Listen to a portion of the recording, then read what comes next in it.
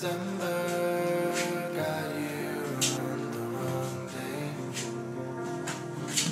It was too late, got cold.